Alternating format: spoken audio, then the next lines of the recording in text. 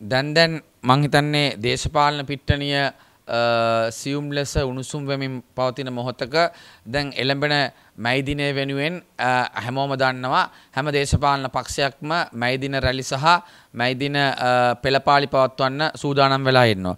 ඇත්ත වශයෙන්ම දැන් ගිය වසරේ කොළඹ නගර සභාව ඉදිරිපිට මැයිදින රැලිය පවත්වන්න ජනතා විමුක්ති පෙරමුණට අවස්ථාව ලබා දුන්නා. අපි මේ පාර විශේෂයෙන්ම දෙදස් විසි අතරේ ඒ කියන්නේ පෙබරවාරි මාසේ විසිහය වෙනද මේ තියෙන්නේ මම ලිකිත ඉල්ලීමක් කරා කොළඹ නගර සභාවෙන් අපිට ලබා දෙන්න කියලිවරලා FR සේනානායක මාවත පරිශ්‍රය මේ සමග ජන බලවේගේ ප්‍රධාන විපක්ෂයේ මැයිදිනය පවත්වන්න. ඒ අනුව ඔවුන් පොලිසියෙන් ඒ පිළිබඳව නිර්දේශ ඉල්ලල තිබ්බා. ඒ අනුව පොලිසිය තුන්වැනි මාසේ විසිහත් වෙනදා නිර්දේශ කර ලබා දීලා තියෙනවා. ඊට පස්සේ මේ පෞගිය අවුරුද්ධකට මේ අවුරුද්ධ සතියේදී කොළඹ නගර සභාවේ නාගරික කොමසාරිස්තුමිය කියනවා ඒ නගර සභා පරිශ්‍රයාවට කාටවත් දෙන්න එනිසා ඔබතුමන්ලාට දෙන්න කියලා. ගිය අවුරුද්ද ජනතාව මුක්ති පෙරමුණට දීලා මේ අවුරුද්දේ අපි ලිඛිතව ඉල්ලලා පොලිසිය රෙකමන්ඩ් කරලා තියෙද්දි අපට දෙන්නේ නැහැ. හැබැයි ඊට එහා පැත්තේ මේ ලිප්ටන් එක අවට නගර සභාවේ පිටිපස්ස පැත්ත ජනතාව මුක්ති පෙරමුණ දෙනවා. එතකොට මේක අපි අහනවා ජනතාව මුක්ති පෙරමුණයි ආණ්ඩුව අතර තියෙන ඩීල්ලයක් නේද මෙහෙම වෙන්නේ? හරිද? ඇයි මේ බය වෙලා ඉන්නේ සමග ජන බලවේගයට?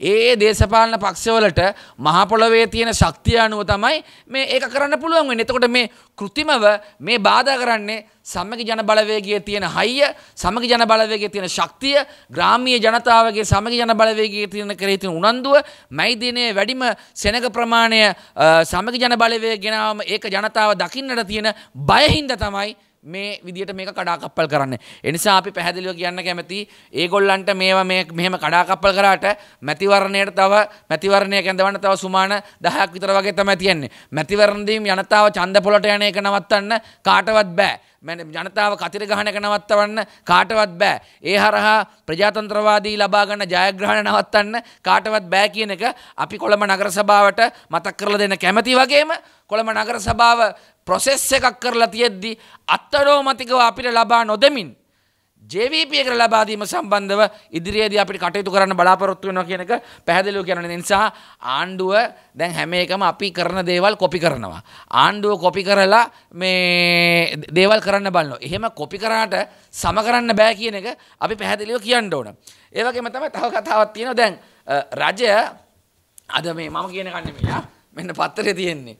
ලෝක ආහාර වැඩසටහනට අනුව සිසුන්ට බෙදන්නේ කන්න බැරි හාල් රස පරීක්ෂක වාර්තාවලින් තහවුරු බව PHI සංගමය කියයි. මේ මම කියන කන් නෙමෙයි. හරිද? එතකොට ආණ්ඩුව අනිත් පැත්තෙන් කියනවා මේ මේ මාසේ ලබන මාසේ දුප්පත් ජනතාවට හාල් කිලෝ 20 20 දෙනවල ජීවත් වෙන්න.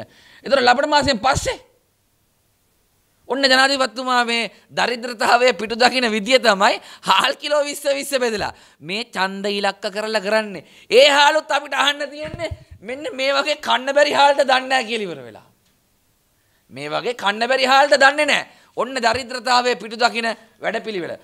අපි පැහැදිලිව කියන්න ඕන මේවා මේ ඡන්ද ඉලක්ක කරලා කරන්නේ. ජනාධිපතිතුමාට අපේක්ෂකත්වය ලබා ගැනීම සඳහා පොහොට්ටුවෑගේ සහයෝගය ලබා ගන්න හැකියාව තියෙනවද කියලා බලන්න මේ කරන්නේ. මහින්ද රාජපක්ෂ 2015 සීගිරි පර්වතයට වැඩිය උස කටවුට් ගහලා සිල් රෙදි බෙදලා ගෑස් ලිප් බෙදලා ඔක්කොම බෙදලා මිනිස්සු අනිත් පැත්තට යන්න දුන්නා.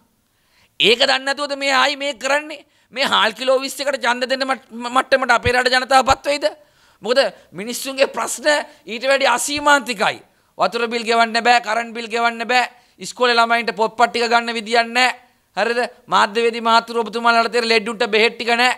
හරිද? ගන්න පඩියෙන් බඩු මිල දී ගන්න බෑ. බඩු මිල අහස උසට ගිහිල්ලා තුන් වේල කාපු කට්ටිය දෙවේල කන තත්ත්වයට අවිල්ලා තියෙන්නේ. ඒ නිසා ජනතාවගේ ආදායම් මාර්ග වැඩි කරන්න නම් රටේ ආදායම් මාර්ග වැඩි කරන්න ඕන. රටේ ආදායම් මාර්ග ඩොලර් ආදායම වැඩි කරලා අපනයන ආදායම වැඩි කරලා ඍජු විදේශ ආයෝජන වැඩි කරලා ඒ හරහා ජනතාවගේ ආදායම් මාර්ග වැඩි කරලා මේ තියෙන බඩු මිලත් එක්ක සරලන විදියේ ජීවන මට්ටමක් මේ හදනවා විනා හාල් කිලෝ 20 20 බෙදලා හදන්න පුළුවන්ද? දැන් මේ ඔබතුමාලා මාධ්‍යවේදී මාතෘ කල්පනා කර බලන්නකෝ. හාල් කිලෝ 20ක් දීලා දුන්නම පස්සේ ඉවරද? හාල් කිලෝ 20ක් දුන්නාම මේ මේ කරන්ට් බිල් ගෙවන්න පුළුවන්ද? වතුර බිල් ගෙවන්න පුළුවන්ද?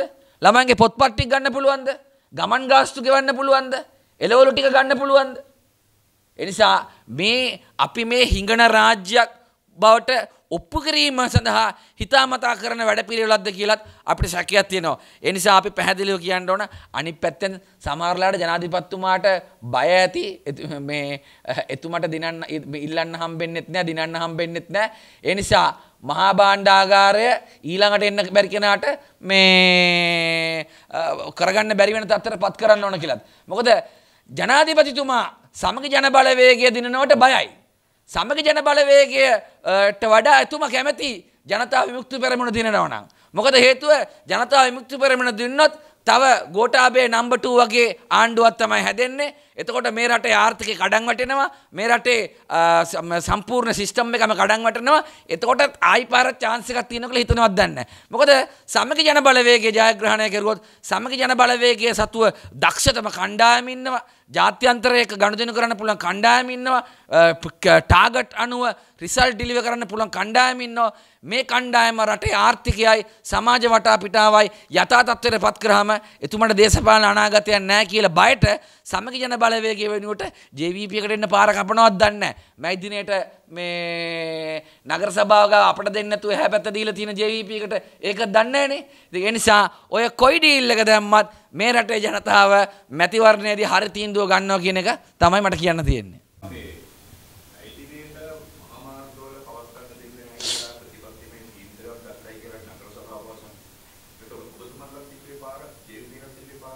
UMP එකත් එල්ලුවේ පාර. ඔව්. මහාමාර්ගවල පවත්වන්න තීන්දුවක් ගත්තා කියලා ඉවරලා අපිට කිව්වේ නැහැ. හරිද? අපි පැහැදිලිවම FR සේනානායක මාවත ඉල්ලලා මෙන්න පොලිසිය රෙකමන්ඩේෂන් එක ඒගොල්ලෝ කිව්වේ නගර සභාව කිව්වේ මෙට්ලන් පෙදස ජනතා විමුක්ති පෙරමුණට ලබා දෙනවා මරදාන එක්සත් ජාතික පක්ෂයට ලබා දෙනවා කියලා ඉවරලා. හරිද? පාර තියන්න දෙන්නේ නැහැ කියලා කිව්වේ නැහැ. හරිද? ඊට පස්සේ මෙන්න එකපාරට අපට ආරංචි වෙනවා ලිප්ටන් එක ගාව මේ මේ අර පෝස්ට් ඔෆිස් එක ලිප්ටන් එක පැත්ත දීලා කියලා ඉවරලා ජනතා විමුක්ති පෙරමුණට. ඉතින් මේ UNP එකට දීලා දීලා තියනවලු මේ මොකද්ද PD සිරිසේනෙක් ගාව පාර දීලා තියනවලු. හරිද? දැන් මේක දැන් මෙහෙමනේ අපි බස් 2000කට ලක්ෂයකට අධික ජනතාවක් අපි ගේනවා. එතකොට මේක එක ස්ට්‍රෙච් එකට දාන්න ඕන. එහෙමනේ රැස්වීමක් කරන්නේ. හරිද? එතකොට මේ කොළඹ තියෙන කිසිම ග්‍රවුන්ඩ් එකක ලක්ෂයක් දාන්න බෑ. හරිද මැයි දිනය කියන්නේ කොළඹ නගරය අඩාල වෙලා තියෙන දවසක්. හරිද ගමනාගමනයක් නැහැ එහෙම ලොකු මේවෙහෙකුත් නැහැ. ඒ නිසා තමයි මේ අනෙක් අයටත් පාරවල් ලබා දෙලා තියෙන්නේ. මේ කරන්නේ අපේ සෙනග පෙන්නන එක නවත්තන්න තමයි මේ කරන්නේ. එක දිගට අපිට සෙනග පෙන්වන්න බැරි වෙන්න එකට. ඒක නෙමේ මේ කුමන්ත්‍රණය.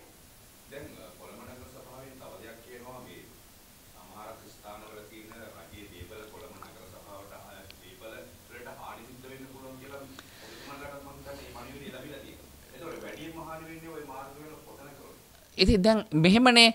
දැන් කොළඹ නගර සභාගාව දේපලක් නෑනේ අනිත් එක අපි පැහැදිලි එහෙනම් කොහොමද ගිය පාර JVP එක කරේ?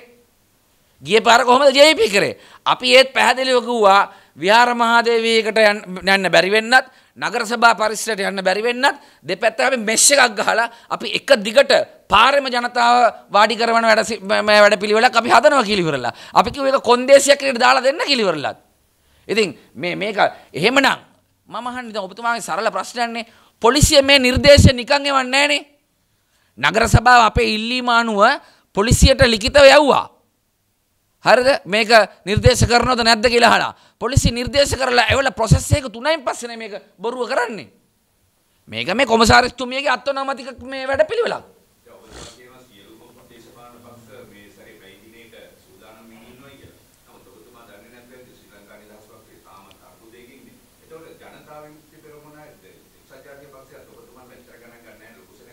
පිළිවෙලක් සෙනග පෙන්න්න තරඟ කෙසේ වෙතත් ග්‍රාම්මිය ජනතාවගේ විශාල උනන්දුවත් තියනවා මේ ජනාධිපතිවරණය අභියස තියෙන මැයිදිනයක් නිසා. හරිද ඇත්තම කතාව ජනතා විමුක්ති පෙරමුණටයි අපිට අපි අතර තමයි තරඟ තියෙන්නේ. ශ්‍රී ලංකා නිදහස් පක්ෂයට මැයිදිනය කරන්න තියා විධායක සභාවක්වත්ම කරගන්න බෑනේ. ඉතින් දැන් ওই ප්‍රශ්නේ වැඩි අහන්න එපා. මොකද ඊට පස්සේ මාධ්‍යයේ අරව යන්නේ ඕක තමයි යන්නේ.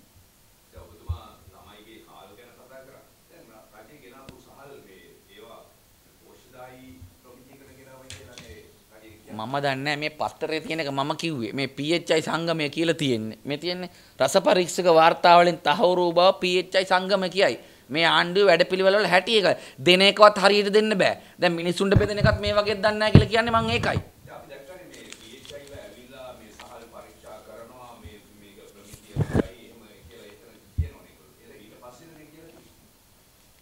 මේක මේ අද පත්තරේ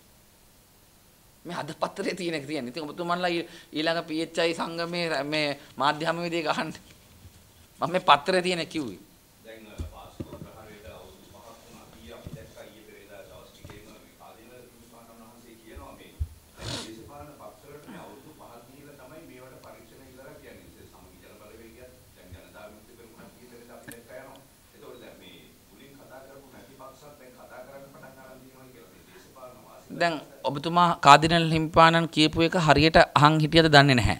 අපි ඊයේ පෙරේද නෙමෙයි දුන්නේ. මේක අපි කාදිනල් හිමි අපි 2020න් පටන් ගත්තු පක්ෂයක්. අපි 2019 අගභාගයේදී 2020 මුල් භාගයේදී එක්සත් ජාතික පක්ෂයෙන් කඩන් ආපු කණ්ඩායමක්. එක්ස එතකොට අපි වෙනම පක්ෂයක්. අපි කාදිනල් හිමිපාණන්ට මේ ඊයේ පෙරේද මේ අවුරුදු 5 පිරෙන වෙලාව නෙමෙයි ඊට කලින් ජනාධිපති නීතිඥවරු දෙදෙනෙක් එක්ක නායකතුමා මේකේ තියෙන නීතිමය ක්‍රියාපටිපාටින් එක්ක ප්‍රායෝගිකව කොයි විදියටද මේ මහම ලොකරුවන් හොයලා දඬුවම් දෙන්න පුළුවන් නීතිමය ප්‍රතිපාදන තියෙන தত্ত্বය අනුව කරන විදිය පිළිබඳව ලිඛිතව දීලා තිනවා. දීලා අපි මාධ්‍යයට කියවන්න කියේ නැහැ. කාදිලා ලිම්පානන්ට ලිඛිතව දුන්නා. මා කාදිලා ලිම්පානන් ඕක කිව්වයින් පස්සේ තමයි සමගි ජන බලවේගය නම් දුන්නා කියලා කිව්වයින් පස්සේ තමයි ඊළඟ දවසේ JVP ගේ නායකයා කියෙත් නැහැ. අර සුනිල් ලට්ටවල පළස්සව මන්ත්‍රීතුමා කියලා ලියුමක් බාර දුන්නේ. මම දන්නේ ඒක නිශ්චිතව කරන්න පුළුවන් වැඩපිළිවෙල පිළිබඳ අධ්‍යයනයක් කරලා කරාද කියලා. මොකද හේතුව දැන් ඒගොල්ලන්ට ආර්ථිකය සම්බන්ධව හෝ අනෙකුත් ශේෂ්ත්‍ර සම්බන්ධ හෝ නිශ්චිතව අධ්‍යයනය කරපු වැඩපිළිවෙලක් නැහැනේ. ඉතින් ඒ වගේ ඒක නිසා මේකත් නිකන් දීපු ලියුමක් කියලා තමයි මම හිතන්නේ. ඕකින්දනේ ආර්ථිකය පිළිබඳ විවාදයකට එන්නෙත් නැත්තේ. හරිද? ඉතින් ඒ නිසා කවුරු කොහොම කිව්වත් දැන් මේ කාදිනල් හිමිපාණොත් දන්නවා, කතෝලික ජනතාවක් දන්නවා මේ වින්දිතයන්ට සාධාරණයක් වෙන්නේ සමගි ජන බලවේග ආණ්ඩුවක් ආවත් තමයි කියලා.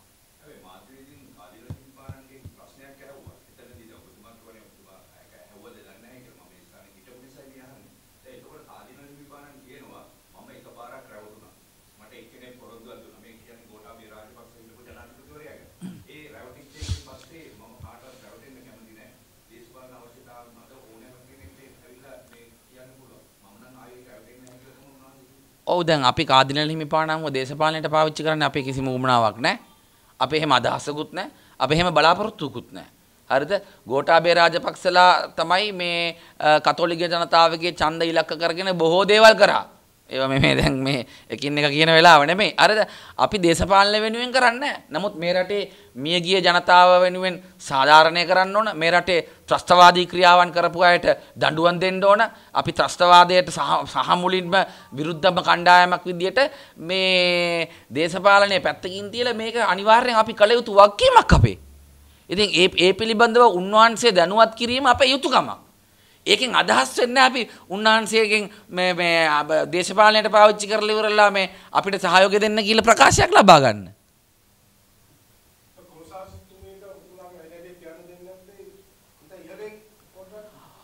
ඔය ඉතින් ඒව වෙන විදිහ හැමෝම දන්නවනේ ඉතින් ඔය කොමසාරිස්තුමිය අනිවාර්යයෙන්ම ඉහළ නියෝගයක් එන ඔය රතු අලි පැටවුයි කොළ අලි පැටවු අතර තියෙන ඩීල් එකක්. හරිනේ. අනේ වැඩක් නැහැනේ ඒක. තේරුමක් නැහැනේ. ඡන්ද පදන් මුකුත් නැති පක්ෂයන්නේ නේ. විධායක සභාවක්වත් කැඳව ගන්න බෑනේ. නෑ වැඩක් නෑ අපරාධේ. කාලේ මේ ගුවන් කාලේ අපරාධේ.